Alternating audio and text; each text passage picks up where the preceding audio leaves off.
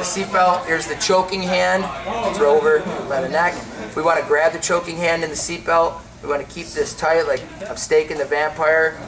Getting my own heart as well. Keeping nice tight elbows in. I want to bring him to the choking side in the ideal world. Clear that hand out of the way.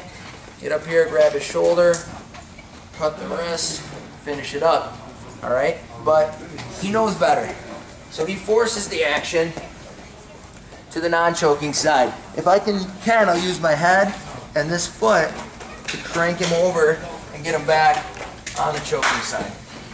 But if he continues to escape, and he's starting, if I don't do anything, he's going to keep shimmying, he's going to create space, I'm going to try to mount, you know, and he's going to do his thing. So, when I feel that happening, and he begins his escape, and I can't take him back to the other side, the hook comes out, becomes a little shovel on this side, I'm going to dump him. Now I could just dump him with the intent of keeping him here, stretch him back out, put my hook in. But I can also dump him, and as I do, pull my bottom leg out.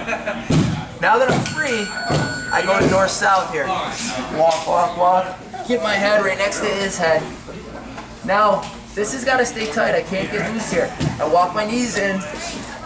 I come all the way up, throw my hooks back in, get back to work.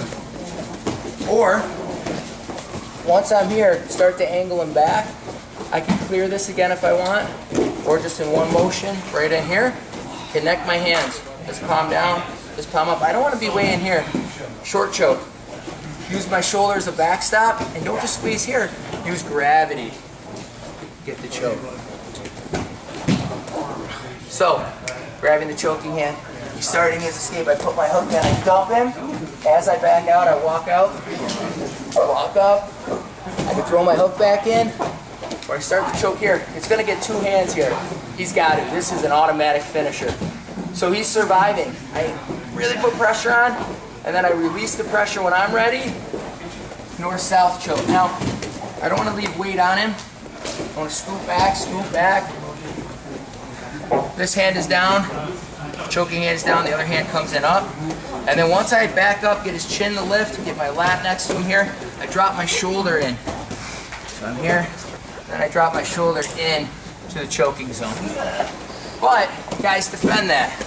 So I'm here, I'm here, I'm backing up. This is one of the defenses they use. They frame out and start to push my head, maybe try to roll me or whatever. When this, yeah, when this happens, I squeeze a little extra to get a reaction, and then this hand's gonna come up. I'm gonna hop both knees on either side of his head. Drop my weight forward. Catch the wrist, pull him up onto his side, finish. If he's holding, rip this way, I'll kneel, rip it out, finish. If I can't do that, okay, I'll back step out and keep my weight on his shoulder. If I keep my hands connected, I will. If I can't, it's a quick let go, slam. So if I can keep them connected, I will. If I can't, and I realize I can't, quick let go, re-grab. Now from here, if he starts to turn and tries to get to, to his uh, back, he, yeah, then I'll step over and do like a mount, I do a chair sit, now I got his back.